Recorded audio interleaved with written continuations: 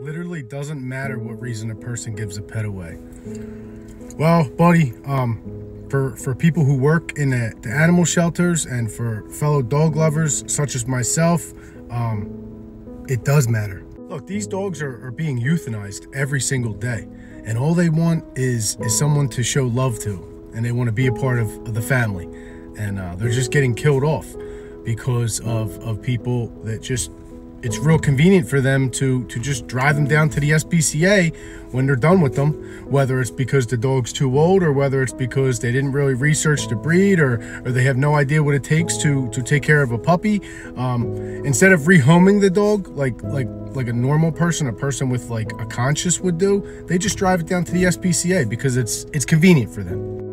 Listen, I still remember the first night I brought Chooch home. Okay, I still remember that night, and uh, I made a commitment to him, and I promised him, for better or worse, man, I'm gonna love you as much as when you get older as I love you when you're a puppy. And uh, you know, um, I just hope that that people that are watching this, if if they think the way that you do, uh, I just pray that that don't even bother getting a dog.